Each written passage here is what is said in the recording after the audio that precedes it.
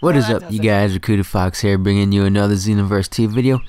So some of you guys have been waiting for this for a long time and as you guys can see by the title, today's video is part 2 of my reenactment series and I will be leaving part 1 down below if you guys didn't see it already. And this video is kind of long but there were so many parts I wanted to do so I will be making more of these types of videos and thank you guys for being patient with me. I did get some major help with some of my friends and I just want to thank them for helping me out so I will be leaving all their YouTube channel links down below in the description. So make sure to check them out. And yeah, this is it for the video. So if you guys like this video, make sure to leave a like and subscribe. Peace.